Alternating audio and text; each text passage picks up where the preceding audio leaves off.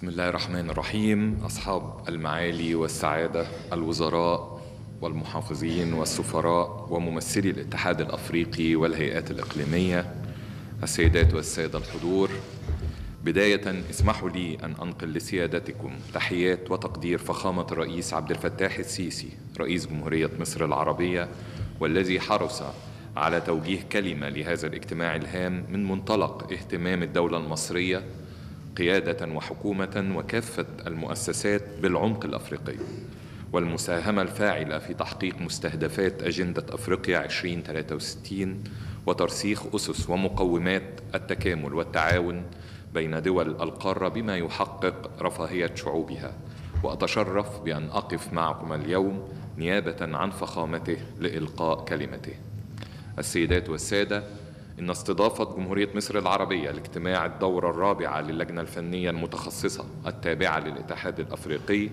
حول الخدمة العامة والحكومات المحلية والتنمية الحضرية واللامركزية تعكس التزام مصر بكل ما يحقق رفعة شأن قارتنا في إطار تحقيق أجندة أفريقيا 2063 وكذلك في إطار, في إطار سعي مصر لوضع كل خبراتها سواء من الناحية من النواحي التنموية والحضرية والاقتصادية أو الأمنية والسياسية لخدمة دولنا وحكوماتنا الأفريقية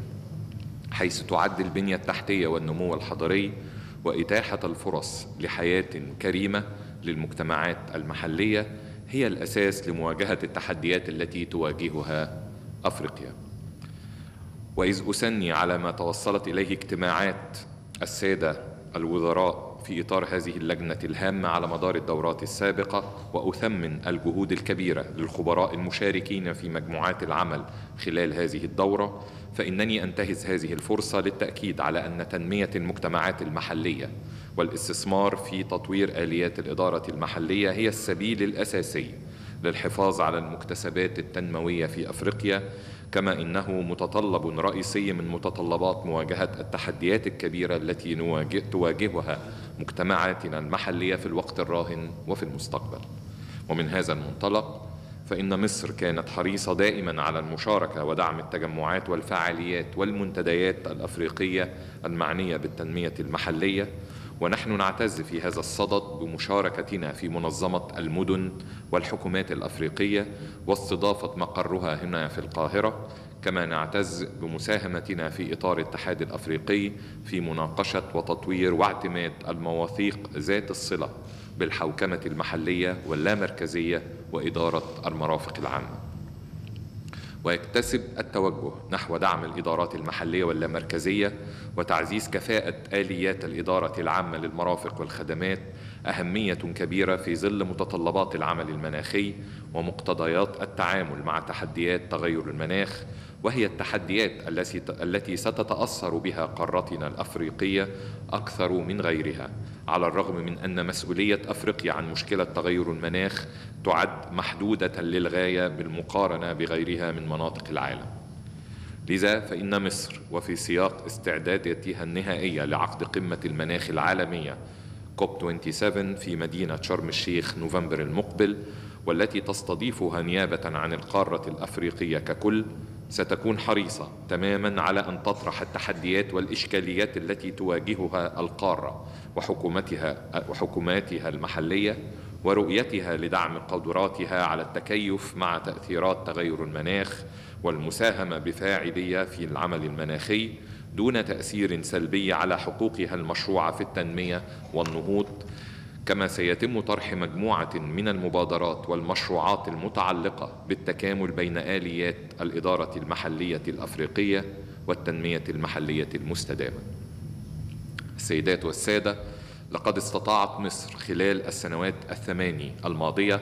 تحقيق نقلة تنموية غير مسبوقة على مستوى المجتمعات المحلية سواء الحضرية أو الريفية. وهي نقلة كان قوامها مشروعات البنية الأساسية العملاقة إدراكا بأن البنية التحتية هي أساس تطوير الخدمات العامة وبوابة العبور إلى التنمية الاقتصادية المستدامة. وقد استندت الجهود المصرية في تطوير البنية الأساسية إلى مستهدفات أجندة القارة الأفريقية 2063 وهو ما ساهم في تحسن مؤشرات أداء مصر المتعلقة بأهداف الاستراتيجية وأهمها المؤشرات المتعلقة بكفاءة البنية التحتية وتحسين مستوى معيشة المواطنين وتعزيز الاستدامة البيئية. ونحن نعتبر التطور في قطاعات البنية الأساسية خاصة شبكات الطرق والنقل في مصر جزء من البرنامج القاري لتطوير البنية التحتية بما يتضمنه من مشروعات طموحة مثل مشروع مشروع محور القاهرة كيب تاون ومشروع ربط البحر المتوسط ببحيرة فيكتوريا وهو ما يعد حجر الزاوية الأبرز في تحقيق الاندماج والتكامل المنشودين وركيزة أساسية لتفعيل منطقة التجارة الحرة القارية. السادة الحضور إن ملامح التجربة التنموية المصرية وثيقة الصلة بالتنمية المحلية والتطور الحضري حيث لم تتوقف فقط عند شبكات الطرق ومرافق الخدمات البنية الأساسية